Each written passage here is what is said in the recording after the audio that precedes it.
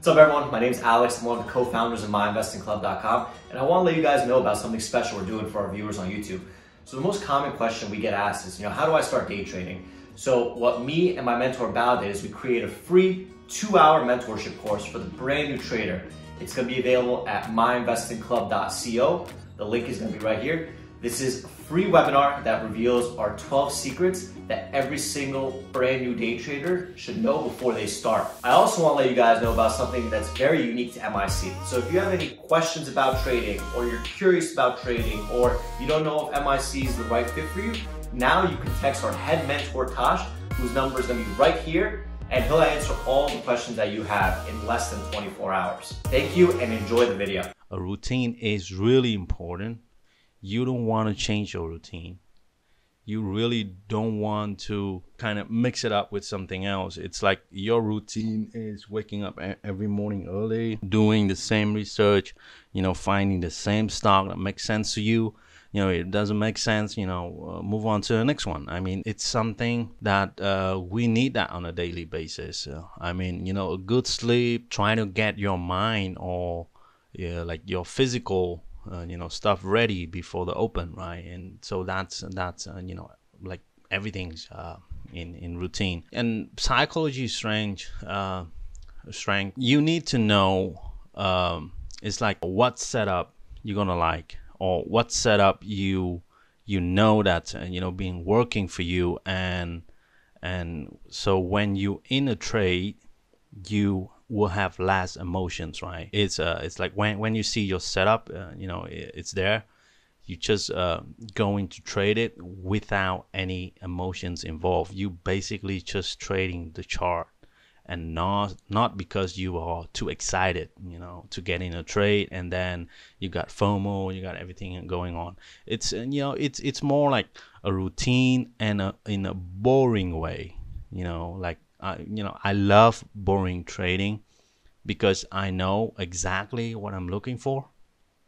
And if it doesn't, uh, like if it doesn't happen, I'm, I'm not gonna trade. You know, I have absolutely no emotions involved. The time when I'm excited, the time when I have uh, you know emotions in my trading, I usually don't uh, you know perform that well and usually end up to be those you know losses that uh, we experience uh, in trading and so uh, you want to you know uh, like to focus on that emphasize on that and uh, and try to make a routine and try to make trading as stress free as possible. Yeah and uh, the the the next point is accepting the loss. You know this is the key. Like i just literally talking about this. The good traders are the one that good with taking losses they are really good at that because it you know it enable them to it's like uh they trying to take a loss you know with ease. I mean they look at the loss uh you know as they accepting the defeat right? They have you know uh when when uh, they have a losing trade they don't think about it too much. I mean, it's either that or that, right? All right, so I'm in a trade, I got stop out. Okay, I admit it, I'm wrong. You know, market, Mr. Market, you're right. I mean, there's no argument here, there's no ego here, nothing else. And which which enable them to quickly adapt to the market environment. They don't have anything against the market, right? They don't have anything that they trying to argue or like you know uh, ego against that trade. Simply, they get in a trade. If wrong, they cut it. No hard feelings. That's it. I mean, those are the one. I mean, those are the best traders usually because uh, is um, the ability to accept the loss. I mean, there's a lot of traders that refusing to accept that. I mean you know uh, you know refusing to accept the defeat. That's why they're trying to get back in the trade and they're trying to revenge it. They're trying to make it back because they think i'm right right? You know you are wrong market i'm gonna show you what's you know is uh, what's uh, uh, what really should be done here. But those are the traders that uh, will you know likely uh, blow up you know at, at some point because of their ego and so the good traders that i've seen they are really good at you know accepting the loss and they embrace the loss they use the loss as a lesson. They use that loss to learn to be better trader next time. The winners, you know, will not define who you are as a trader, but the losers, I mean the losses will define who you are.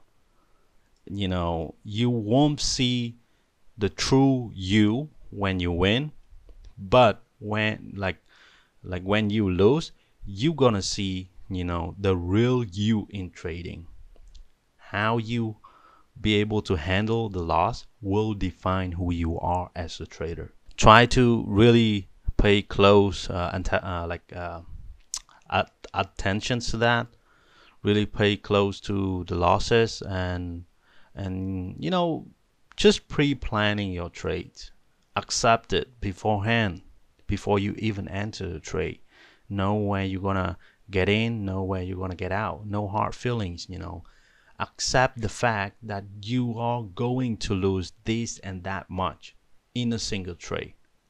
And that will help you to stay focused, will help you to stay, you know, flexible during the trade. Like, you know, no surprises at all. I mean, it's, you know, I'm going to get in here. If it gets here, I'm going to stop out you know and that's what we been talking about in um, Austin webinar uh, on Thursday uh, you need to have you know some sort of ultimate stop is to the point where it's the trade is no longer valid right and you need to accept that adding to loser don't do that the only reason why traders doing that because they have the ego right They're not accepting the loss they're not accepting uh, the defeat. The idea is good. My idea is gold. I'm not wrong here. They don't admit that they're wrong, right? But that's the key thing for traders. You need to admit that you're wrong. Like you have to admit that you know absolutely nothing, right? Once you accept that fact, the trading becomes so much more easier. The fact that you don't know nothing, the fact that uh, anything could happen, you know, it caused you to have a plan. It caused you to have a hard stop, right? But with the fact that you know I know everything about this, I'm so right, you know, on hundred, like on hundred percent, that this trade is going to work, you know, in my favor. That's how the ego will get in and probably going to destroy them. And that's what people are blowing up their account because the ego is too big. So that's simple, guys. So do not hold to a losing position, uh, position adding to a loser. Don't fight the trend. You know, trend is your friend. That's what I've been talking about in my VWAP video. Over VWAP, longs are in control. Under VWAP, shorts are in control. Follow the trend. Don't fight it. I don't care how good, you know, you are. But if you fight the trend, probably you're to get some ugly results out of that, right? I mean, you could be, you know, right here and there, but the time when you're wrong, you're going to be really, really wrong. So don't just don't fight the trend guys. This is this is the amount that uh, you should willing to risk max on the daily. It's like if you lose this much uh, you know on the day you're gonna call it a day and you know come back tomorrow start fresh. Live to fight another day guys. This is not a sprint. This is a marathon. And you trying to stay in this game for as long as you could and eventually you might be able to get there but you know, if you uh, if you can stay in the game, how can you get there, right? So this is your airbags. This is gonna save you like uh, daily. This is gonna save you from blowing up. and everything. So contact your brokers and set that with them. And last but not least, I mean, this this is the part where most of our trades are, you know, the the losing ones, right? This is where the losers are when we're trying to anticipate, when we're trying to predict the move and uh, when we're trying to to trade like we think it's gonna work but you know it's really everything about this one it's poor fomo to me and when do you anticipating when you trying to predict the move that's usually is the fomo one and because you have no data to back test you to back you up with this because if you know what you're looking for if you have the consistency if you know the stock selections, right? Why the hell you would, you know, still anticipate and predicting the move? This is poor FOMO to me.